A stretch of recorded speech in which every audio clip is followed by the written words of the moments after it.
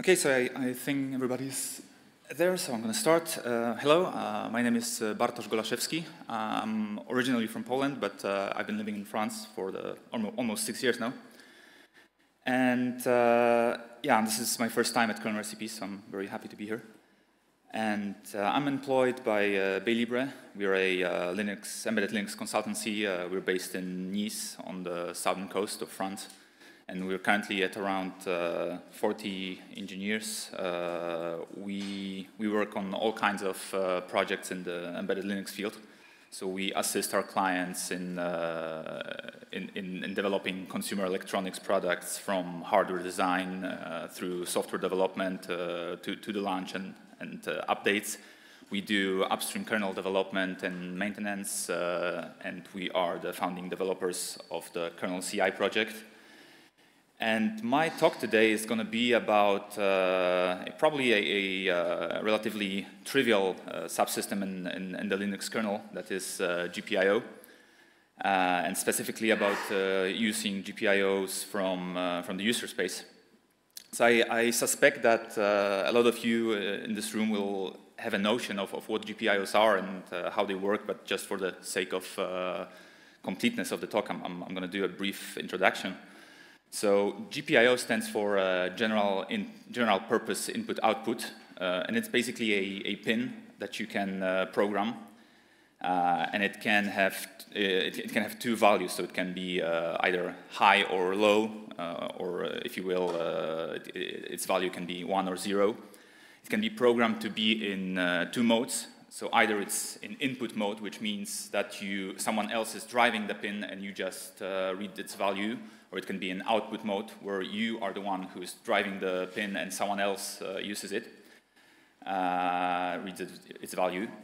And uh, then a GPIO pin in input mode can serve as a source of interrupt. So some events can happen, like the value can change, and then you can have a hardware interrupt uh, to, to, uh, to know that, that this uh, event happened. And despite the relative simplicity of, of this idea, there are, there are there is quite a significant number of uh, applications for it. So uh, you can use the GPIOs to uh, to get to, to, to, read events from from buttons, GPIO buttons. You can drive LEDs. You can control all kinds of devices, of simple devices that only need this to, to, to know this high or low state. So buzzers and different uh, power switches and relays, uh, motors, different, various motors in, in, robotics, like simple level sensors uh, and, and, other devices like thermostats or pumps. And uh, the idea is that the SOC, like usually uh, you, you, need a, a, someone who will provide you with GPIO pins. So in that case, it's usually either the SOC itself or if you need more uh, GPIO pins because uh, an SOC typically provides you with, uh, with a couple of GPIO pins. If you need more, you use external uh, components, uh, which we call GPIO expanders that are connected to the SOC via I2C or SPI. And uh, currently in the kernel, we have uh, uh, two coexisting interfaces. They both follow uh, a provider-consumer model.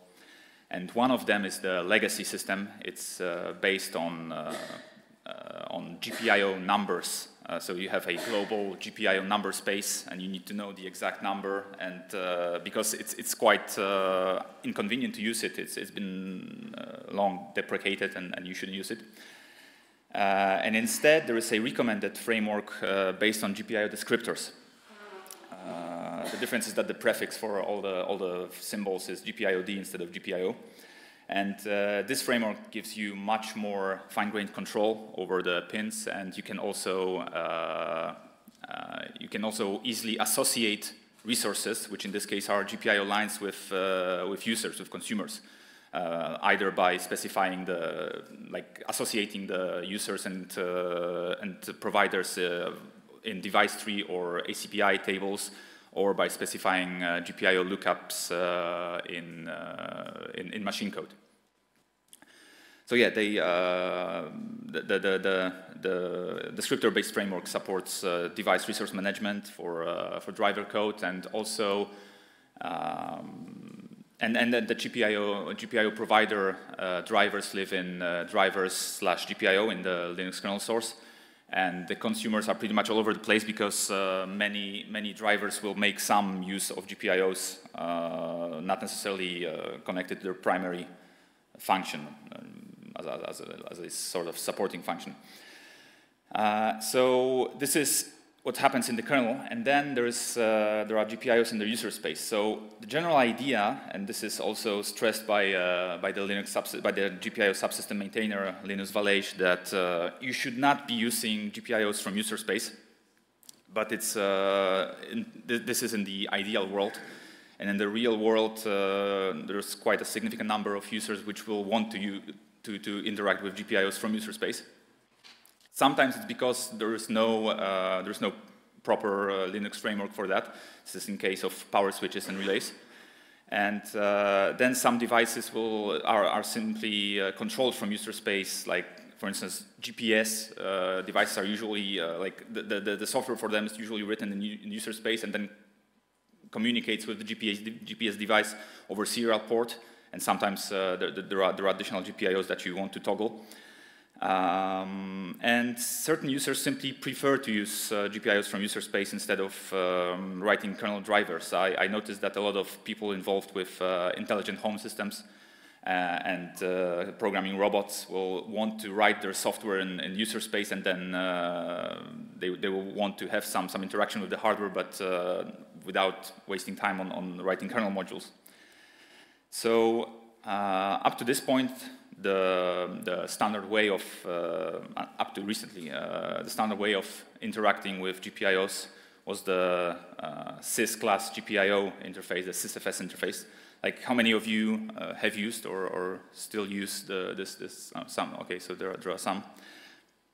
So this, uh, this interface, the patch that introduced it, was merged uh, during the time when the GPIO subsystem and the kernel did not have uh, an, an, active maintainership. Um, so this, this somehow got uh, through, although it, it had the certain shortcomings from the beginning. So because it's a sysfs interface, it's, uh, it's global, it's a global state, uh, and it's not tied to any process. So you can, uh, you can have multiple processes with enough permissions accessing the, the, the, the GPIO attributes.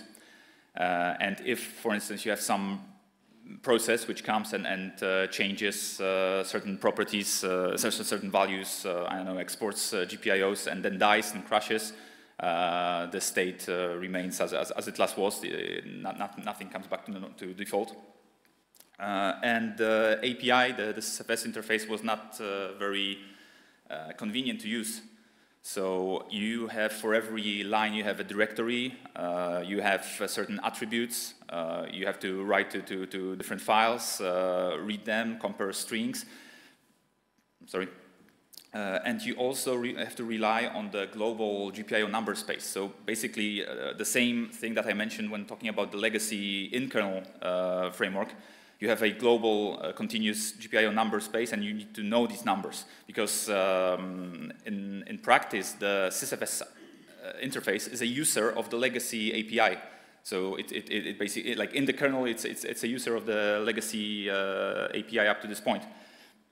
So you need to know the numbers, the specific numbers, and also you need to, uh, they, they can change because if you have a, a, a dyna dynamically loaded module, uh, for, for a GPIO expander, and depending on the, on the order uh, in which these modules will be loaded, the numbers can change.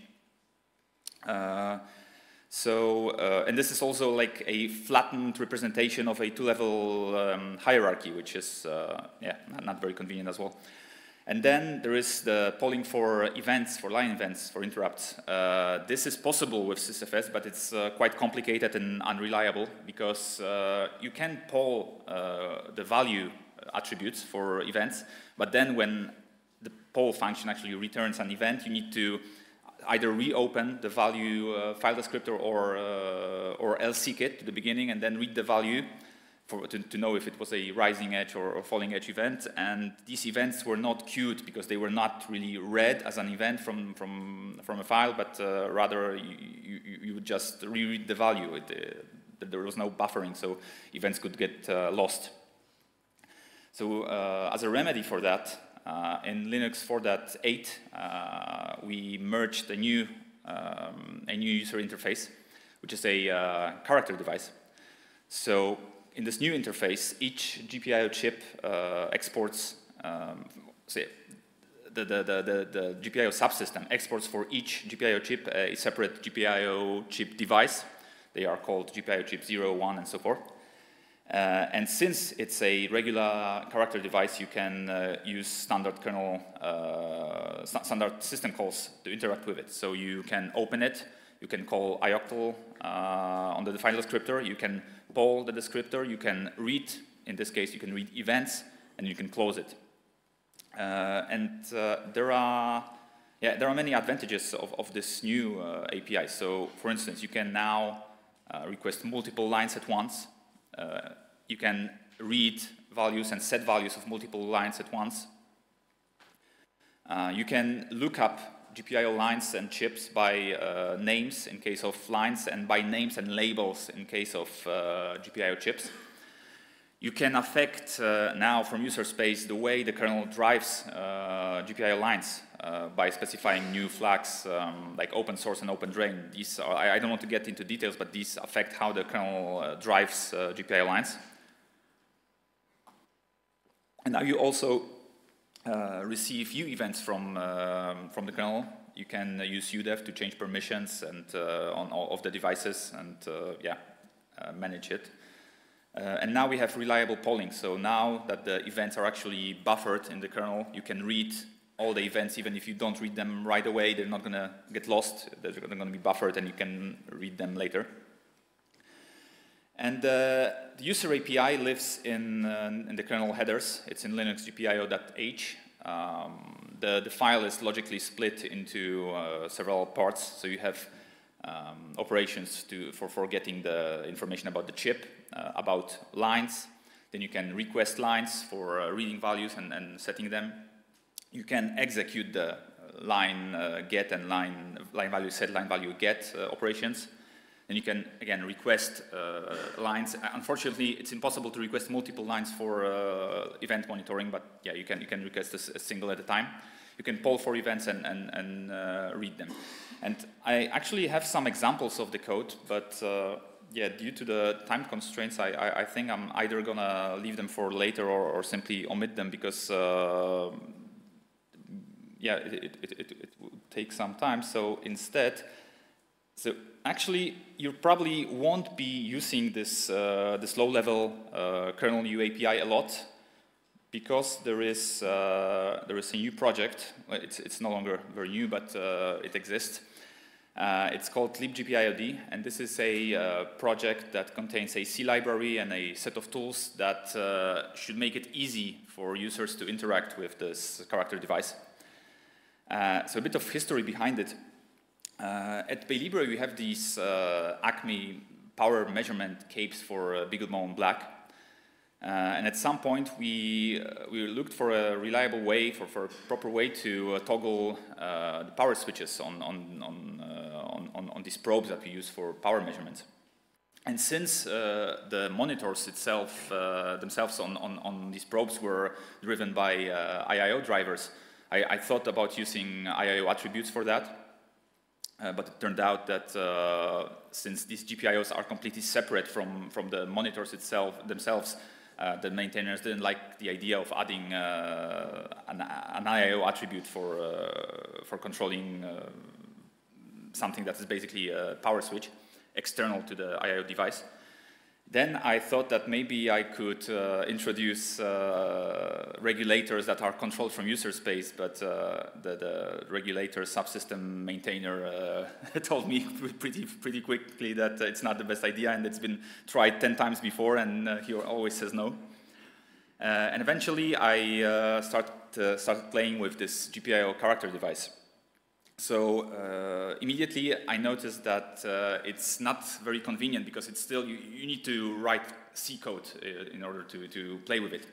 So instead of uh, writing, you know, small C programs uh, for, for, for, this kind of uh, for this kind of programs, I, I, I, I, thought about writing something that will make it simpler.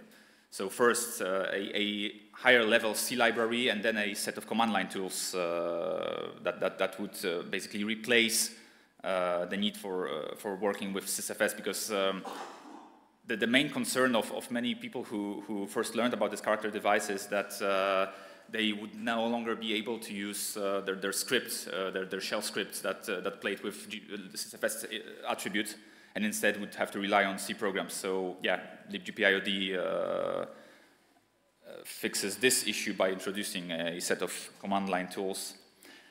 Uh, and the first version was released in January 2017. Uh, this was the 0.1 version.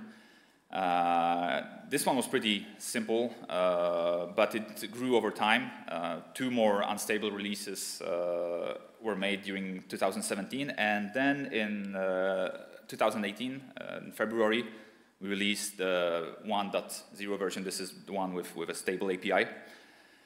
and yeah, the current stable version is 1.1.1. 1.2 is coming soon. I'm going to talk about it in a moment. And since some distros uh, already managed to package the 0.x series, I'm still supporting the 0.3 version with, uh, with bug fixes. Uh, so what's inside? As I said, we have a um, library, a C library, a higher level library, with, um, with API fully documented in Doxygen we have a set of command line tools. These were kind of uh, inspired by I2C tools, so the names may sound, may sound uh, familiar. And then we have a uh, custom test suite. So basically, uh, I, I, wanted to make something that would allow uh, that will allow us to test both libgpiod, the project, and the kernel API so I came up with this idea where uh, we could use the GPIO mockup driver. This is a testing driver uh, that, that exports dummy, dummy GPIO, li GPIO lines. And I wrote this test suite which basically uses libkmod to load this module with uh, specified attributes. And then uses libudev to detect new devices that would come up. Uh, and uh, yeah, and the interrupt simulators is something uh, I, I, wrote from the, for the kernel which basically allows to, to simulate uh, interrupts, which, is, which is nice to, to test the, the, the, API that allows to read line events. Uh, so there's that, and then we now have object-oriented bindings for uh, C++ and Python 3. So the API is uh, split logically similarly to, to the kernel U API. So there are chip operations, uh, like getting chip information and, and uh, information about lines. There are line operations, so you can, again, request information about uh, separate lines. You can request them, uh, set their values, get their values, read events. And there's uh, two more things that are not present in the kernel UAPI. So there's iterators, so you can easily iterate over uh, all the chips and lines.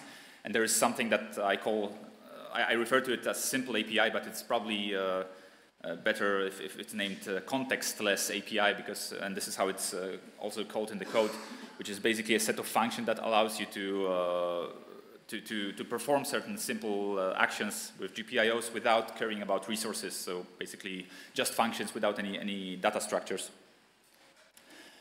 Uh, so this is just, I, um, I, hope you can see it. So this is just an example of the, of the C API. So yeah, this is quite uh, simple. You open the chip, you can open it in many different ways. There are, there are several helper functions. Then you can get the line, which in this case we do. We, we, we get the line at offset 3, uh, and, and, and, we get a pointer to an opaque struct. Uh, then you can request it. So in this case, we're requesting a line in input mode, so we're going to be reading the value we specify the consumer string. Oh yeah, I, I, forgot to mention about this when, when, I was talking about the character device. So previously, uh, a GPIO line has, if, if, it's exported in the kernel, it has a consumer. And when you export it from user space using the sysfs uh, interface, it's always called sysfs. But uh, with uh, libgpiod, you can actually specify the consumer string, so you can uh, notify other users who's using this line when it's, when it's exported. So in this case, we're, uh, we're specifying the consumer. Then we actually read the value. This is when we, when we, uh, when we actually retrieve the value. And then we close the chip. And when we close the chip, uh, all resources associated with this chip are, are freed as well, so all the lines. So this is a uh, this is a, another example I want to show how how we're reading line events. So again, we we open the chip. Uh, I hope you can see it. We open the chip, we get the line at offset three. Now we request it for uh, rising edge events. Again, we specify the consumer string, and then in a loop, what we do is basically we we uh, run the we, we we wait for an event to occur on this line. Uh, then we read it the, the, the, information about this event uh, gets uh, written to this event, GPIOD line event bu buffer. And then, yeah, we, we, we just print it. Uh, you can do it this way, or if you want to uh, use your, your own uh, your own event loop, like libevent or, or the, the, event loop from, from glib, you can use it, you can retrieve the, the very underlying file descriptors. Uh, so this is the, the CAPI. I, I won't get much uh, into detail about it, but uh, the, something that interests a lot of people is uh, are, are, the tools that come with the library. Um, so yeah, the tools will allow you to replace your uh, scripts that, uh, that use the SysFS interface. there are six of them. So first one is GPIO detect. This one allows you to, well, detect GPIO chips. It prints the GPIO chip name, its label, and uh, like the, the, the, the, second column, and then the number of lines. And once you, you know which one you want to uh, learn more about, you can use GPIO info. You can specify uh, multiple chip names or, or even no chip name, then it will print the information for, for all chips. And it will just list all the lines for a given chip and tell you uh, what is the name of the line, if it's used, in what mode it is, if it's set to active high, active low. Active high and active low, it's, a, it's, a, it's an attribute of, uh, of GPIO lines where uh, you know if the pin is active when it's driven high or low, or the, the, the, the of, or, or, or this, if this logic is inverted. Mm, this, this is uh, a minor detail. So then you can, as, as I said before, you can look up GPIO lines by, by their name. For that, you can use the GPIO find tool uh, in this case, we were, we're trying to find a line that is called GPIO mockup B3. Uh, and what it returns is the name of the chip and the, and the offset of this line. And we can actually use this output, as it's shown below, to when, when, when uh, using the GPIO get and GPIO set functions. Uh, in this case, yeah, we're using this output to, uh, to get the, to read the value of a line. Yeah, in this case, it's zero. Uh, and then what we do next. So um, we use the GPIO set uh, tool to set the value of, uh, of line 3 to 1. Uh, and we read again, in this case, we, we read five lines from offset 1 to 5, and, and we can see that the, the, the line offset 3 uh, is changed to 1. And the next example, this one, so uh, some lines can be actually driven by hardware by default or can be uh, like in, in, instead of being uh, floating, uh, like if, if, they are if they are if they are connected, like if, if they are connected to a resistor or something, that they are driven in in certain way. Uh, when you because the character device uh, descriptors are tied to processes, once the process exits, uh, the the state of this chip goes to default, goes back to default. So you may want to keep your process alive so that the line is still exported and it's actively driven.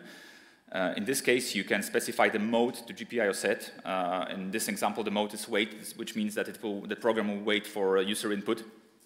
Uh, you can specify multiple modes like timeout, uh, in where, uh, where, the, where GPIO set will wait a certain amount of seconds. Uh, you can specify the mode called signal, which will wait for user signals, etc. And the next tool is for monitoring, last tool is for monitoring lines for GPIO events.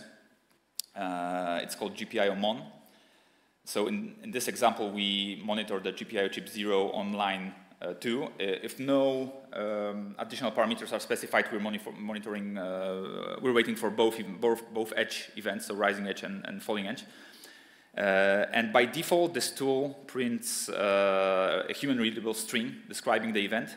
But if you want to use it in a script, you can specify a format that is uh, less human readable and uh, more suited for usage in, in scripts for, uh, for machine parsing.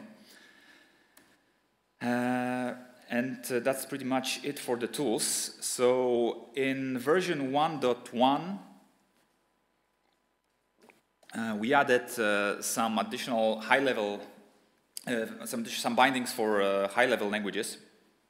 So there is there's a set of object of, of classes of C++ classes uh, where the, the entire C API is, is, uh, is wrapped in a, in a C++ interface, uh, which makes coding a lot easier because you have you can you can use um, shared pointers and, and, and whatnot, like the features of, of uh, modern C++. This API is, is uh, fully documented in Doxygen as well. Um, the code is exception, exception safe. Uh, I re-implemented some, some uh, like most of the tools in C++ uh, as an example of how to use this API. Uh, and also many examples are included in the, in the repository. So this is just an example. I don't know if you, if you like me, actually enjoy uh, programming in C++ because I, I, I, think I may be one of the few kernel developers who, who like C++. Uh, this is just to show you that uh, reading a value or setting a value, in, in this case, it's much easier. So uh, you, you actually open the chip with the constructor, you get the lines, you can actually have, whoops, you can actually have them in a, in a vector, uh, which is easier if, like, the, the example I, I, showed before was only dealing with a single line, but when you need to fill your array with uh, offsets and, and do, all, do all that, it, it actually gets, the code gets, gets much longer. So in this case, you can, you can use the advantages of C++. Uh, you specify the direction to output and you set five lines at once at different um, offsets corresponding with, I'm sorry, four lines at once with offsets corresponding with the uh, with the vector pass to get lines.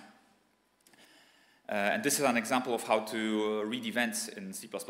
So again, we open it, we get the line, we open the chip, we get the lines, uh, we request it for both edges, and uh, we wait. Uh, and when the lines event wait method returns, we, we have a collection of lines in, in the events variable, uh, which we can then print uh, and something that a lot of users uh, asked about right from the start, and many, many people actually created, generated some, some automatically generated Python, Python bindings for this library.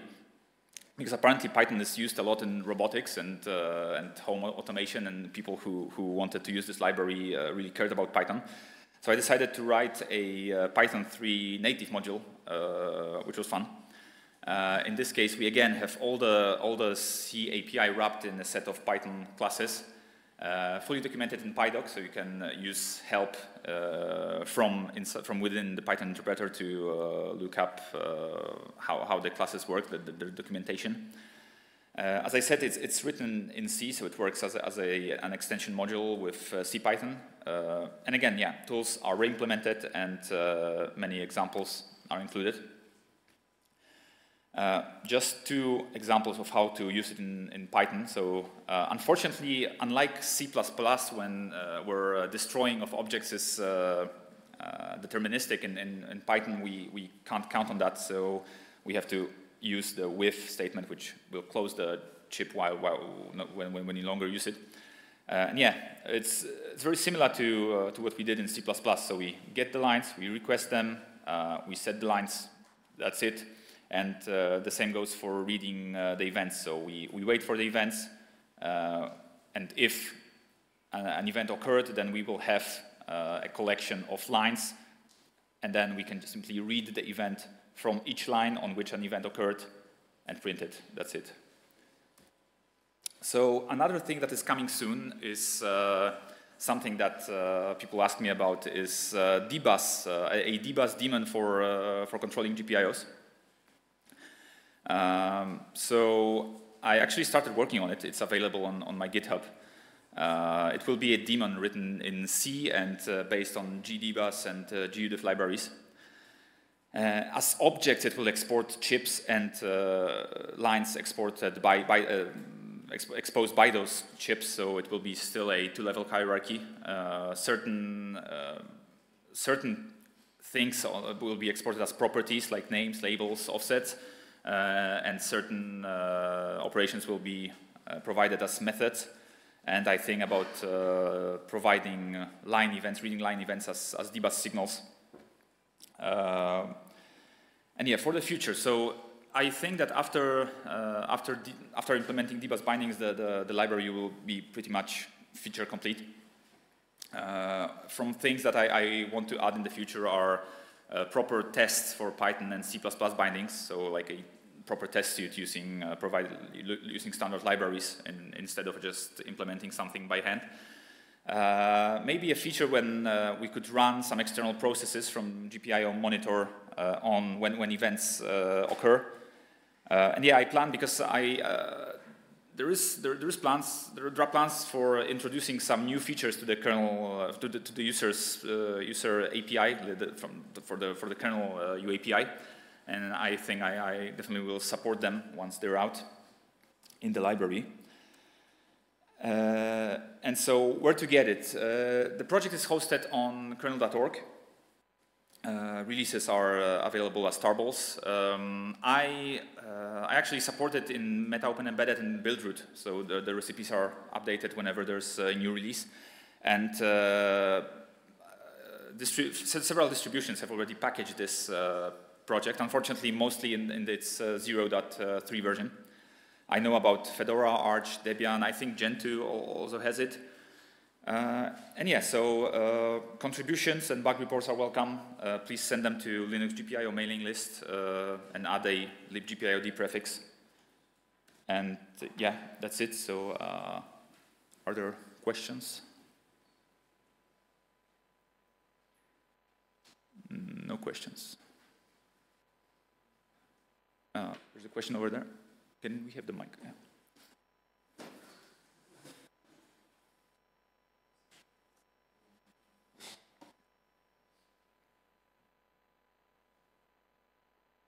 Turned on.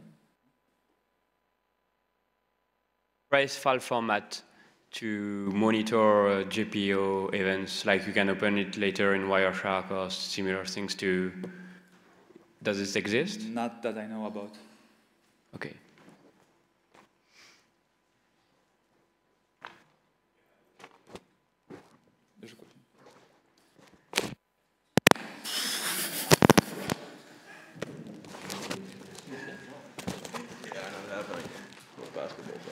So uh, what's the overhead of the library compared to poking the API directly? Uh, there's not much overhead because you don't do any allocations. You like outside of uh, requesting the lines or opening the chip. Uh, so basically, it's just a thin C layer. Like as long as you're using the C library, there's only a thin uh, C layer on top of the of the ioctls and and uh, other system calls. Thanks. There's a question in the back.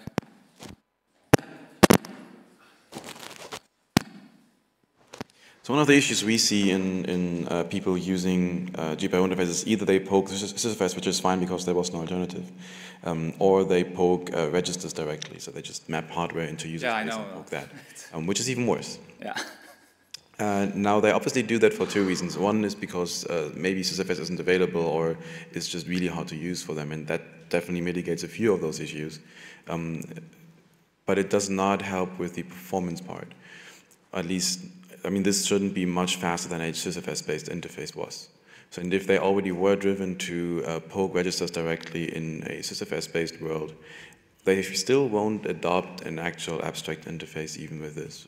Um, so are you planning to give them some path to actually get their constraints settled? I mean, something like, I don't know, a BPF event-based framework in the kernel, whatever it is. I mean, any, anything that basically allows them to run fast well, it's, it's already faster than SysFS. Uh, there were even, actually someone posted uh, measurements uh, some time ago, and actually all the string comparison in, in uh, caused the, the, the, previous system to run much slower. Uh, but uh, to answer your question, I, I don't have any plans for that, so um, I'm focused on this one. This is enough for my needs. Um, I, I, guess I guess they should probably write a kernel module if, if they want to if they want to do it fast. I, I don't think you will find uh, people that just randomly poke 485 megahertz chips uh, writing kernel drivers for that. Yeah. They, they want to, they, the, the, whole value add of their user space is that it's, I mean, that's, that is the whole software, right? Mm. Marek? Okay. All right. Marek, I, I wanted to give you the microphone. She was speaking anyways.